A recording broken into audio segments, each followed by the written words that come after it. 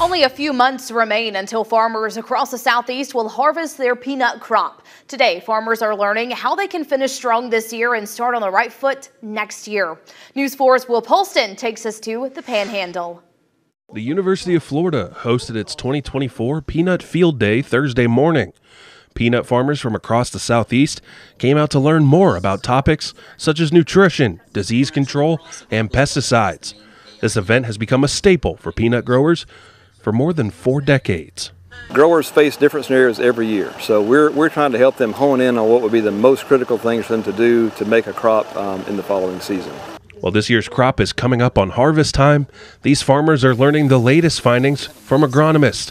Peanut farmer Brandon Dillard says events like this can give participants a true advantage over other growers farmers that come to these events can make uh, educated decisions quicker than farmers who are maybe just listening to some of our chemical reps and things that may be a few years behind on what the research is looking like.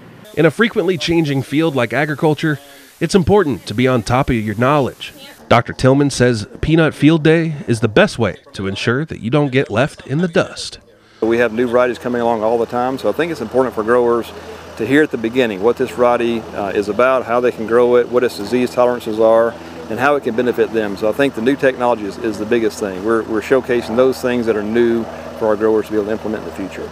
In Marianna, I'm Will Polston, your hometown news leader.